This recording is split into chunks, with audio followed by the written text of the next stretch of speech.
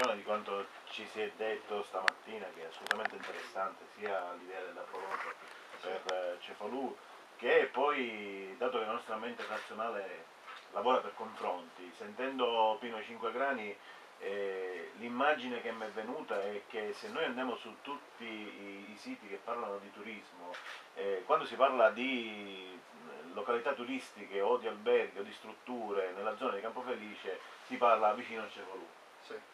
E quando invece purtroppo devo sentire, devo osservare, si parla di Sant'Ambrogio che è Cefalù, nel senso, nel senso del comune, si deve parlare di questo gran distinguo e con le, parole, le amare parole di, di Pino Cinquegrani mi fanno, mi fanno riflettere. A questo punto non so se essere eh, di Sant'Ambrogio è più una fortuna che, la, che una sfortuna. Se l'animo e lo spirito battagliero, la voglia di condividere, la voglia di fare qualche cosa per, per la società, io credo che siano fortunati gli abitanti di Sant'Ambrogio a essere isolati in questo senso, perché credo che la crescita civile che, che, promuovere, che possono promuovere le associazioni di, di Sant'Ambrogio sono nella giusta direzione, è quello che dovremmo auspicare per, per noi di Cefalù, di mantenere, di, di avere un, un, forte spirito non solo associativo ma di, di senso di appartenenza nei confronti della, della città. E, ripeto,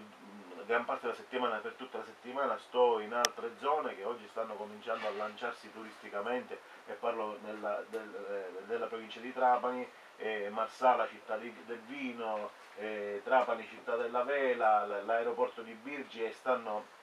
cercando veramente di sfruttare in tutti i modi, in tutti i modo, in tutti i modi il loro territorio e quello che loro possono, possono dare. Credo che, che, ritornare a uno spirito di appartenenza potrebbero essere anche belle parole, forse retoriche, ma ritrovare un senso di appartenenza, una forte identità per la nostra città sia, sia importante. E lo dico alla luce del fatto che vivendo distante in qualche modo mi aiuta a essere più cittadino siciliano,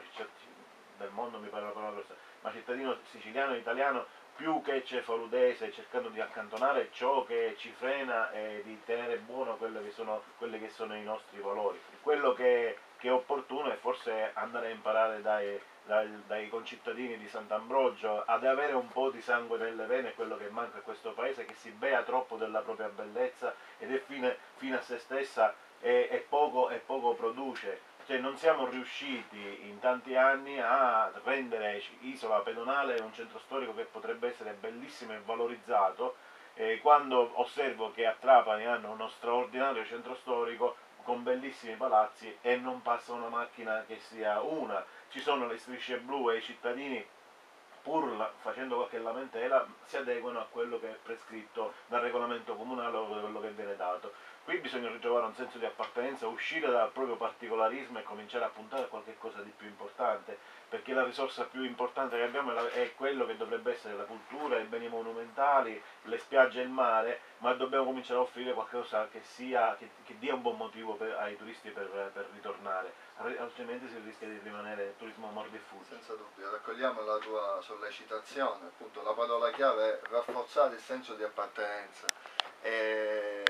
in questo è un esempio i nostri concittadini di Sant'Ambrogio ci possono, perché eh, Cefalo e Sant'Ambrogio devono essere un tutt'uno pur con le proprie specificità, possono aiutarci. L'aspetto che dicevi tu è importante, cioè, dice io quando vado fuori dalla città non solo vedo anche altre esperienze, sarebbe importante anche avere consigli, interagire, ma eh, si esce fuori da un fenomeno che è quello della presbiopia alle volte, no? Cioè quando si è immersi in un contesto spesso si perde questa capacità di, di guardare l'insieme, per cui noi spesso non,